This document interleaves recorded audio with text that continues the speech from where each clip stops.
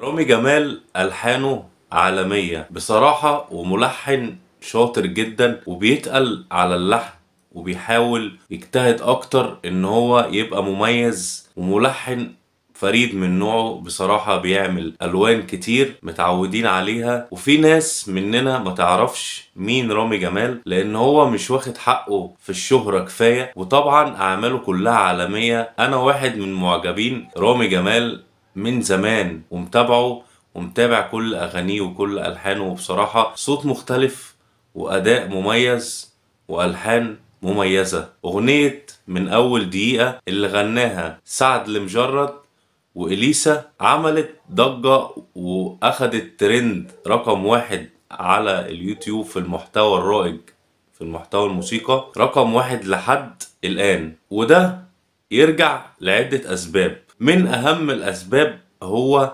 اللحن. طبعا سعد المجرد وإليسا نجوم كبار جدا وخامات صوتية مميزة وكلنا بنحب أغانيهم ومتعودين عليها وعشنا أجمل ذكريات وأجمل حالة حب لأغاني إليسا وأغاني سعد المجرد. طبعا الأغاني اللي بتفرفشنا اللي بتحركنا كلنا. كمل على الموضوع ده لحن الفنان والنجم الكبير رامي جمال. الفنان الكبير سعد المجرد عنده خامة صوت مميزة والنجمة إليسا الفراشة عندها خامة صوت جميلة حنينة. أدت إن الأغنية يبقى شكلها دلوقتي كده.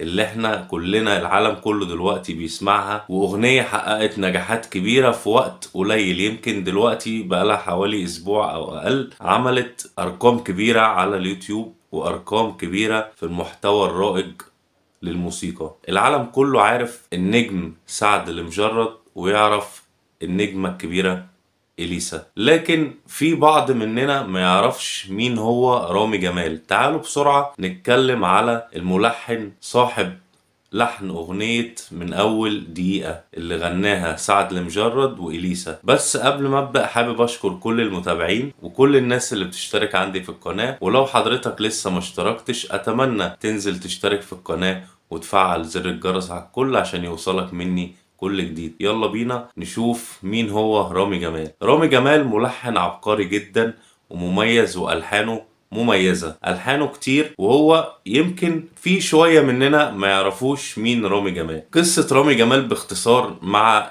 الألحان أو كونه إن هو يبقى ملحن بدأت من وهو بيدرس في الجامعة كان بيعمل ألحان ويغنيها هو وأصحابه وكده لحد ما جاء واحد صاحبه شاعر بدون ذكر أسماء هو شاعر كبير طبعا دلوقتي قال له أنت ألحانك جميلة وعجباني وإيه رأيك نبيع الألحان دي؟ بدل ما أنت تغنيها وأنت لسه مش معروف لا إحنا نبيعها لفنانين كبار ومطربين معروفين وأنت هتتشهر مع الوقت وبرضه الدنيا تمشي يعني. فطبعا رامي جمال رفض جدا لأن هو كان عايز يغني. آه هو شايف نفسه إن هو مطرب عايز يغني فبيعمل ألحان كويسة ويغنيها عشان يوصل بيها كمطرب. إلا إن هو فكر في الموضوع اللي قال له عليه صاحبه الشاعر وقال طيب ماشي نبيع الألحان دي أو نوديها لمطربين كبار يغنوها. وفعلا كان أول لحن ليه عمله لفضل شاكر كانت أغنية فين لياليك اللي غناها فضل شاكر وألحان رامي جمال.